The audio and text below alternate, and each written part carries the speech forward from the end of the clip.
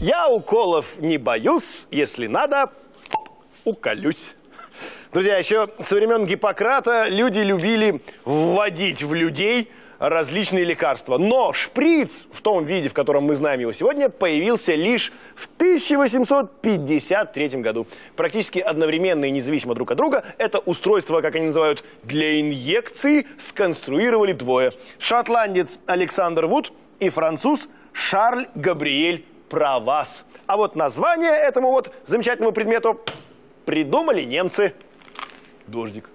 Немцы называют это шприцем, и мы называем шприцем, потому что по-немецки шприцен означает, сейчас я посмотрю, брызгать, впрыскивать, что, собственно, я сейчас и делаю. Опять дождик. Погода какая-то странная сегодня. Ну, а пластмассовый шприц придумал фармацевт из Новой Зеландии. Карлин Мурдок звали его. С такой фамилией и такую замечательную вещь придумал. Запатентовал, кстати, он его. Так вот, сегодня для нужд медицины и для того, чтобы ведущие баловались, выпускается огромное количество различных э, шприцов, вот таких вот, или шприцев, неважно, пластмассовых. Как их делают, мы сейчас с вами увидим. А я пока продолжу баловаться. Дождь пошел.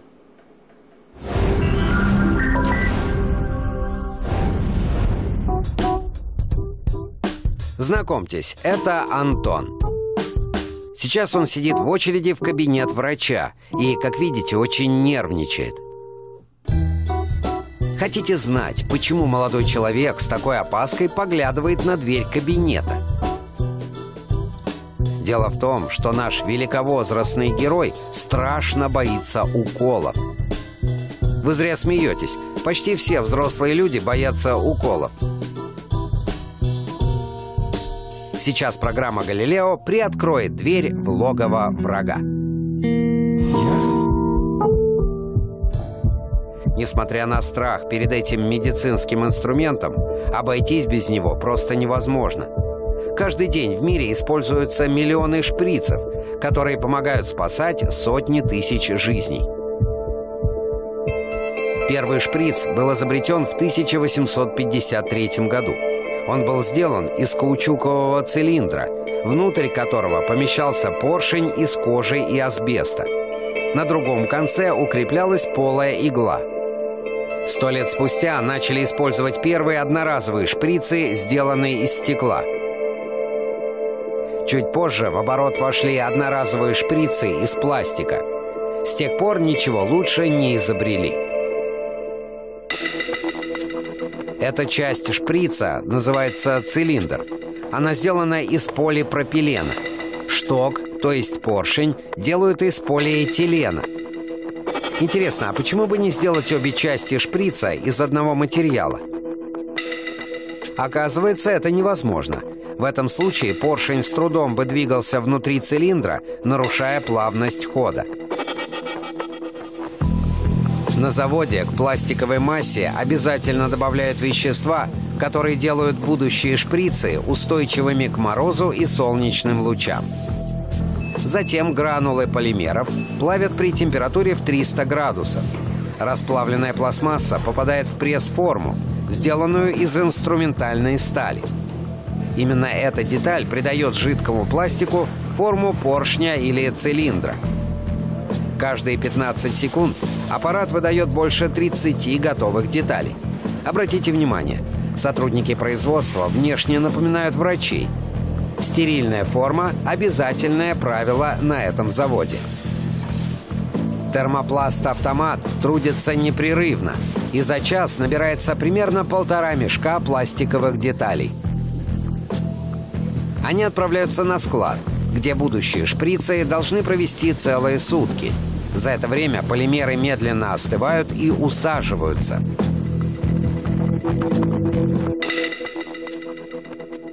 Постойте, а кто рисует на шприце шкалу с цифрами и линиями?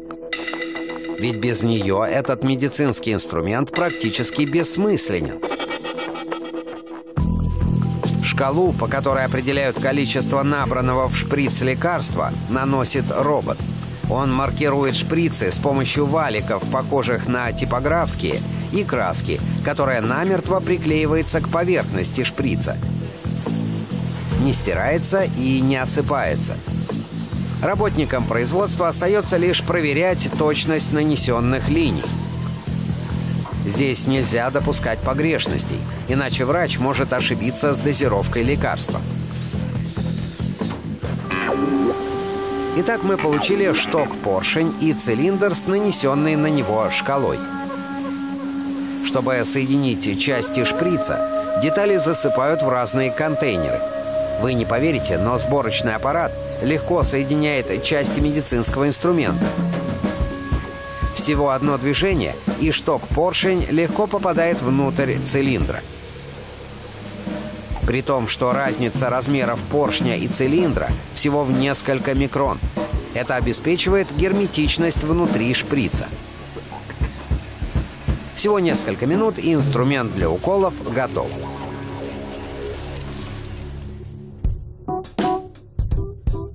Кстати, а почему мы так боимся уколов? Конечно же, из-за боли, которую нам доставляет игла.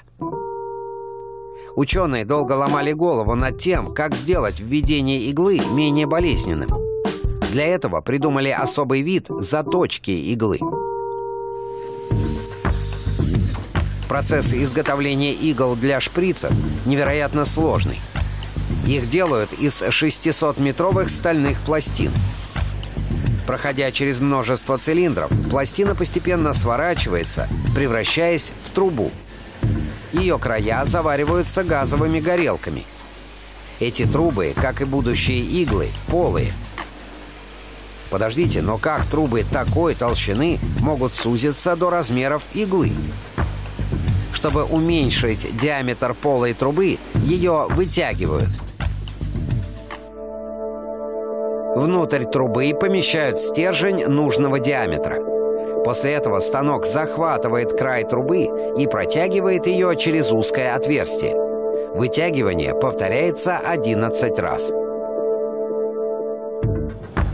Каждая такая процедура сильно деформирует металл. Чтобы он стал крепче, его помещают в печь, температура в которой доходит до 1000 градусов. Сильный жар восстанавливает поврежденную структуру металла. Через 40 минут трубы остывают, и их снова продолжают вытягивать. Из одного метра трубы получается игла длиной в 75 метров. Чтобы ее разрезать, тонкие трубки обрабатывают кислотой, которая растворяет сплав. Затем будущие иглы можно резать. В завершении самая стратегически важная процедура. Иглы должны пройти заточку.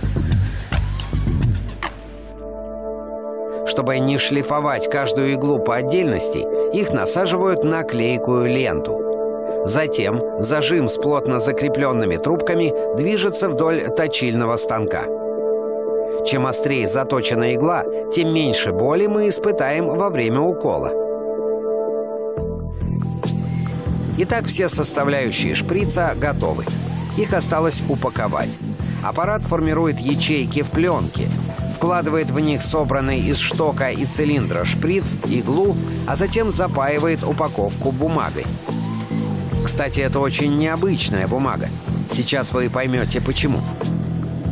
Когда шприцы упакованы и рассортированы по коробкам, их стерилизуют.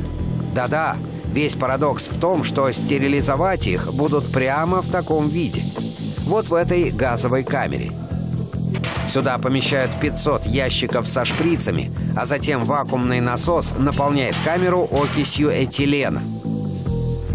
Этот газ очень опасен. 100 миллиграммов – смертельная доза для человека. Опасный газ проникает прямо сквозь упаковку. Ведь шприц запечатан пленкой лишь с одной стороны. С другой – та самая особая газопроницаемая бумага. За 30 минут, пока ящики находятся в камере, газ убивает все микроорганизмы. Перед открытием дверцы газ удаляется и сжигается, а внутри коробок оказываются абсолютно стерильные шприцы. За один день на заводе изготавливают 350 тысяч шприцев. В месяц больше 10 миллионов. Этого достаточно, чтобы запугать все население России. А как себя чувствует наш больной? До сих пор дрожит от страха? Оказывается, некоторые доктора умеют делать уколы настолько ловко, что больной ничего не успевает почувствовать. Кажется, Антон нашел своего лечащего врача.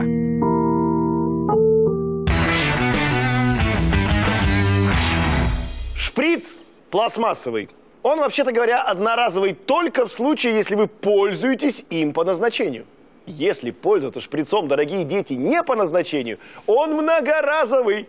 Берете пластмассовый шприц, аккуратненько набираете в отсутствие, конечно, родителей дома туда не воду, а чернила.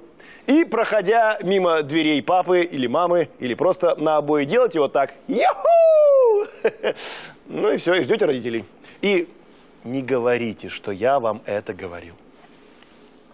Thank you.